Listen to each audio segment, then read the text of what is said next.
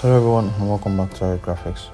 In today's tutorial we'll be creating this loading bar animation with a percentage counter. So without wasting any more time let's just get right into it. So right here I have my After Effects opened up and the first thing I want to do is bring up my pen tool to draw the bar.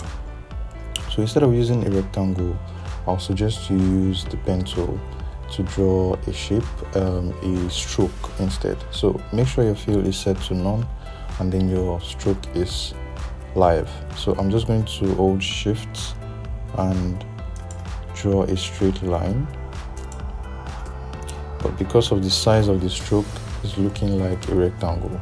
So I'm just going to switch back to my selection tool and then center this on the composition like so uh, I'm going to come to the shape layer open it up and go to content go to shape and stroke. So I'm going to set the butt cap change it to round cap. So we can have this nice rounded rectangle like shape. So I'm going to close it up.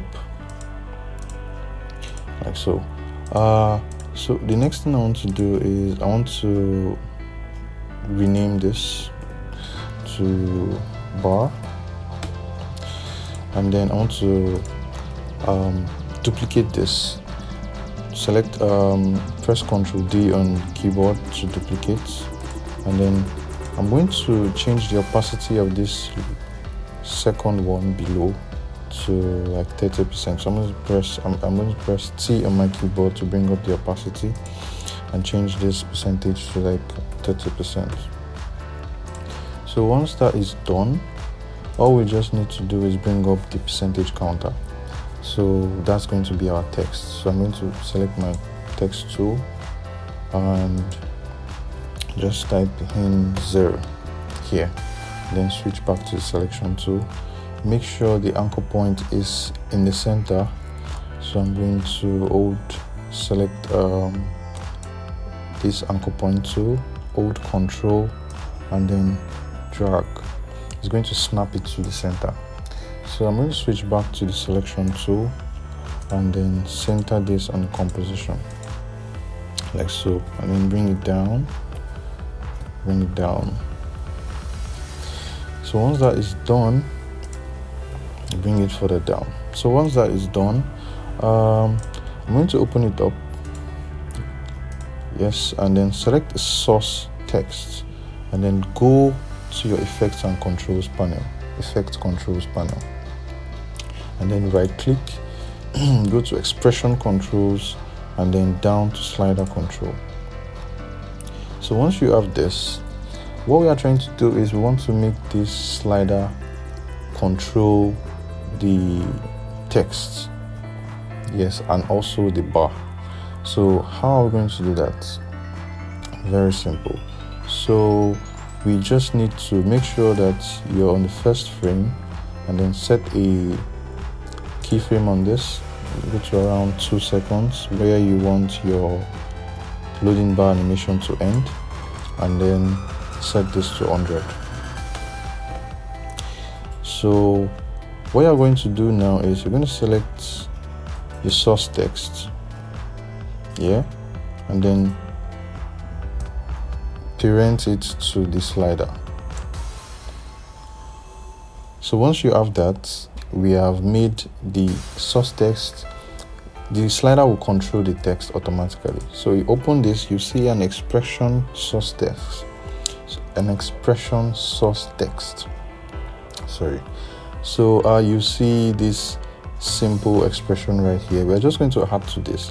If you look at if you go to the first frame you see that you have um, um, you have decimals as the number increases. We want to take that out. So all we need to do is we're going to click on this and then we're going to add dot value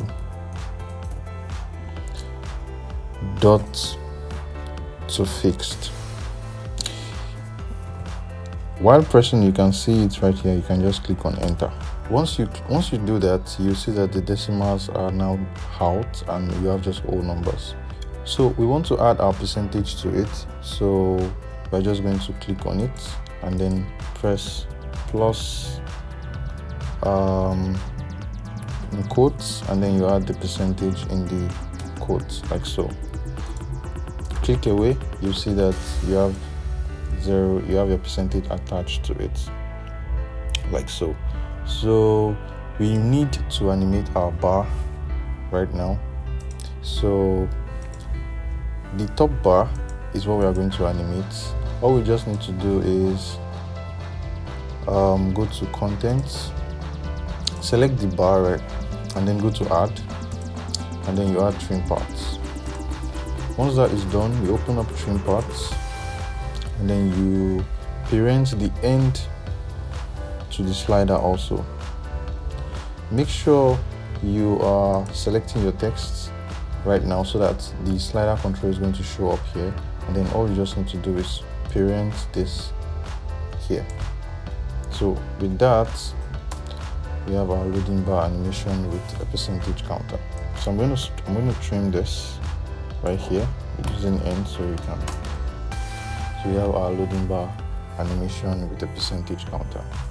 So if you enjoyed this tutorial kindly drop a like and subscribe if you're new to this channel for more design tutorials like this.